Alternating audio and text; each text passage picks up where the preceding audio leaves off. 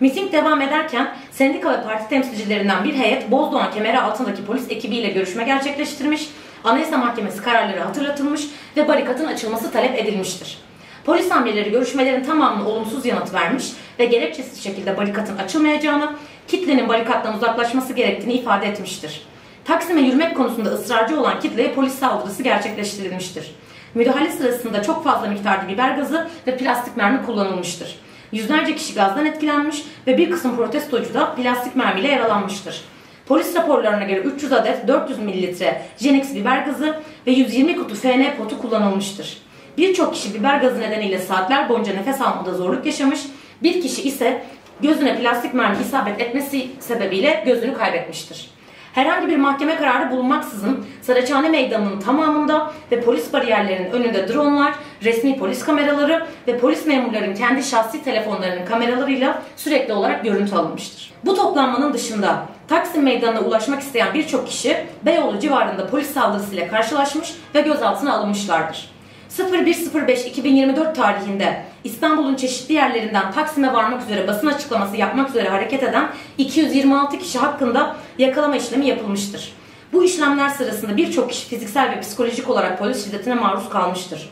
Yakalama işlemi yapılan 35 kişi hakkında bir günlük gözaltı kararı verilmiş ve bu gözaltı kararı uzatılarak 04.05.2024 tarihine kadar gözaltında tutulma işlemi yapılmıştır. 3 Mayıs 2024 tarihinde 1 Mayıs'ta Saraçhane'den Taksim'e yürümek isteyen kişiler arasında polisin görüntü incelemeleriyle tespit edilmiş olan 47 kişilik 47 kişilik bir listeye yönelik olarak 2911 sayılı kanuna muhalefet ve Türk Ceza Kanunu madde 265'te düzenlenen görevi yaptırmamak için direnme suçlamalarıyla sabaha karşı ev baskınları yapılmış ve 30 kişi gözaltına alınmıştır.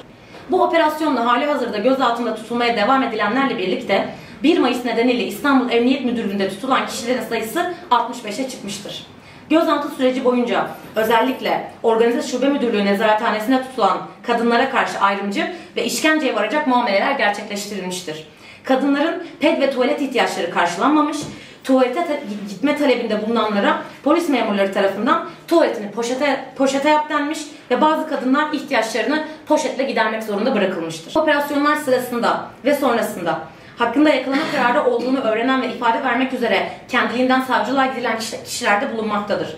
İfade verdikten sonra aynı gerekçelerle tutuklanan kişilerle birlikte 1 Mayıs nedeniyle toplamda 82 kişi tutuklanmıştır.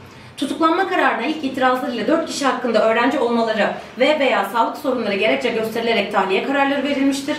Kalanlar hakkında yapılan itirazlar reddedilmiştir. 1 Mayıs tarihinde barışçıl protesto hakkı, ifade özgürlüğü, 1 Mayıs'tan bu yana ise haksız tutuklamalarla birlikte kişi özgürlüğü ve güvenliği, eğitim hakkı, çalışma hakkı, adil yargılanma hakkı gibi temel hakları ihlal edilmiştir. Basına yansıyan bilgiler ve AKP'li siyasetçilerin yaptığı açıklamalar değerlendirildiğinde yapılan işlemler ve verilen kararların tamamının siyasi isteklerle yapılmış olduğu değerlendirilmektedir.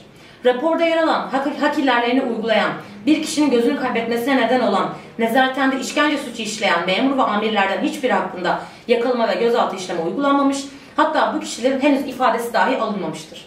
Yargının temel insan hakları ilkelerinin ve tarihimizin gösterdiği tek bir doğru bulunmaktadır. 1 Mayıs alanı Taksim Meydanı'dır.